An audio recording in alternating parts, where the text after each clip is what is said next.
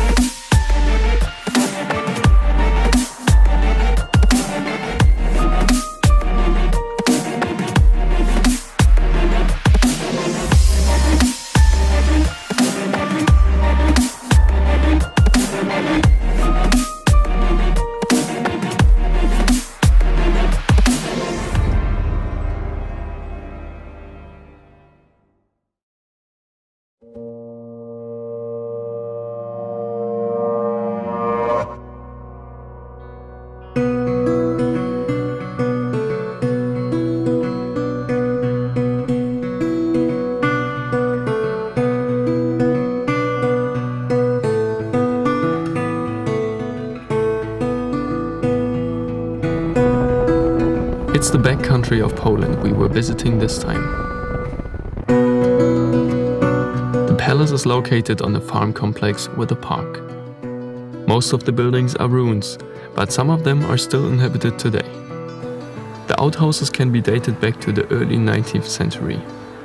Most of them were agricultural buildings like barns.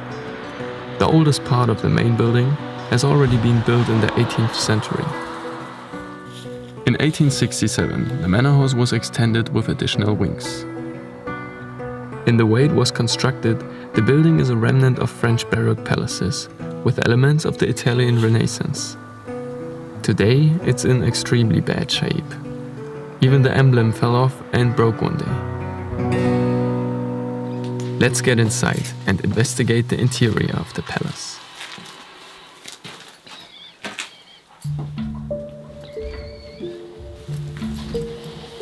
Hörst du das? Ja, da tropft ein Teller.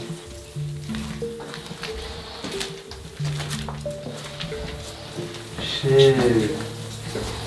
Guck dir das an. Hier läuft alles voll.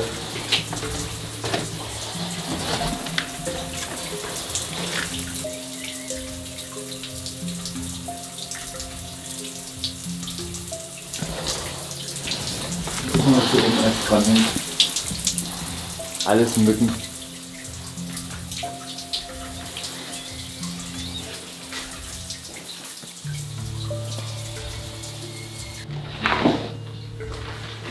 So, das hier ist der Weinkeller, oder was? Ja. Kann man vielleicht so sagen.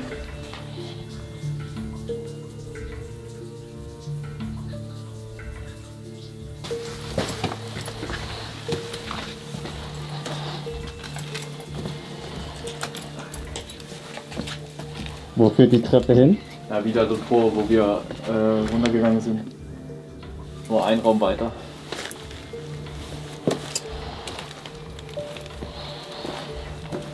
Alter, wie groß das einfach ist. Was ist hier? Hier geht's auch nochmal runter im Keller. Was? Ne, hier geht's raus. Ach krass. So, hier geht's trotzdem weiter. Hier.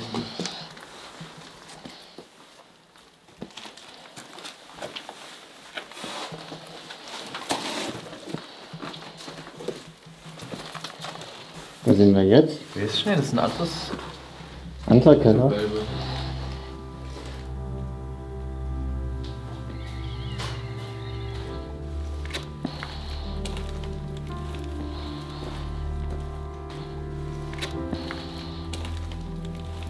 Hier verlaufen die Leitungen. Na, hier unten waren die Rohre wahrscheinlich. The whole ground floor looks like a construction site. Pipes have been removed and new conductions were laid. Apart from the building machines, there was barely anything left to see down here.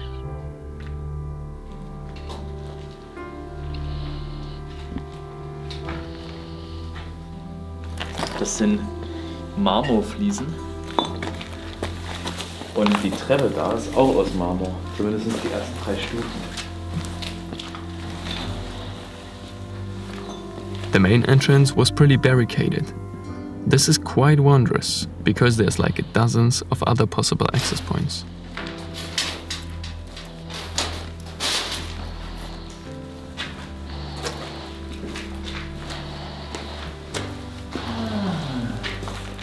Das könnte gewesen sein, oder? Ja, sieht sehr nach aus. Hier wieder die Leitungen drin. Die haben sie wahrscheinlich alle rausgeholt, die Rohre.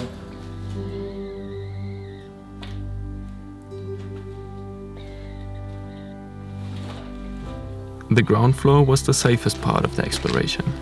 When we reached the upper floors, it became really dangerous, but also really interesting. Nee. Was?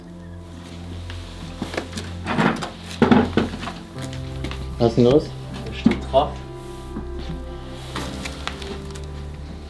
Kinderkleidung, oh Schatz. Was?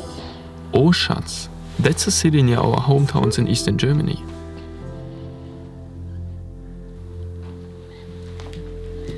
On the first floor, we discovered several items that have been left behind. In the old office, there were quite a number of documents, partly written in German and partly in Polish. We took a closer look at some of those papers, and there were exactly two recurring elements. On the one hand, a lot of the documents focused on security and army equipment in particular, like the sleevelet about a helmet with night vision goggles. But there was other gear as well. Later, we even discovered advertisement for mine detectors. The second recurring element was diving.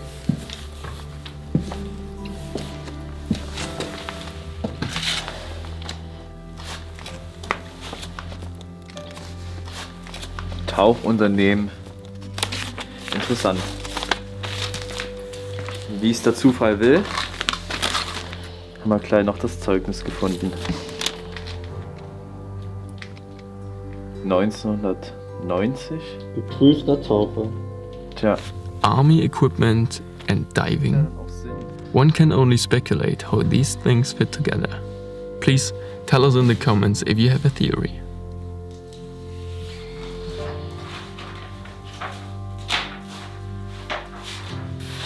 Truck Battle Russia 2010 European Truck Racing Championship.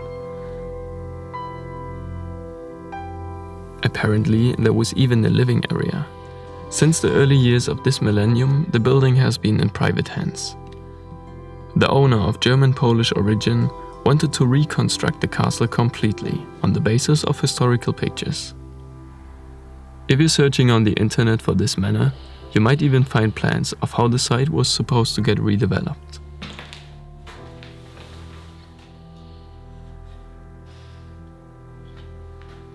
Since 2014, the palace has been abandoned.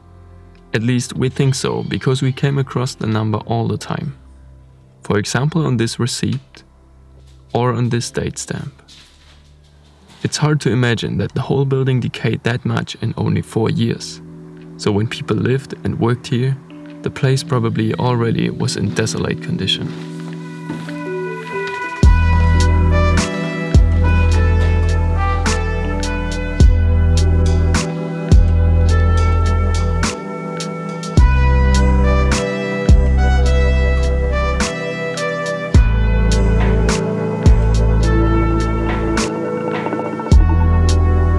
Ja. 2013. Verfallsdatum. Ja.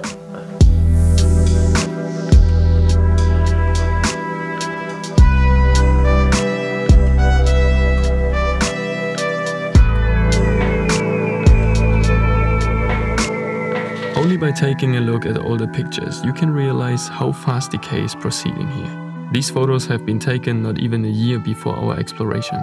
Most of the things you can see here have already been stolen. And all of this happened under the watch of the neighbors, which used to be very vigilant. But much has happened since then. Also, we wanted to obtain the permission of the local residents. But it seemed like they didn't care at all who is entering the place.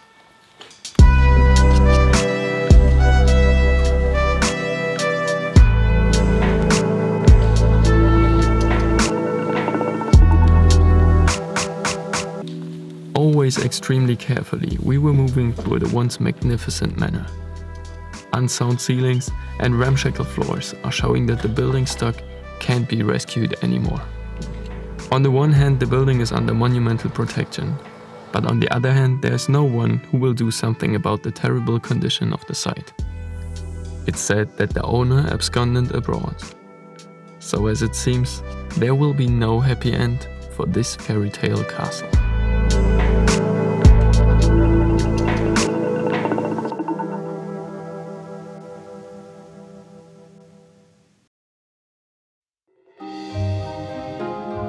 Thanks for joining our latest adventure.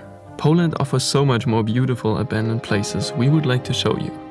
Help us to make more trips like this one possible by pledging a buck on our Patreon page. Thank you for the support, guys.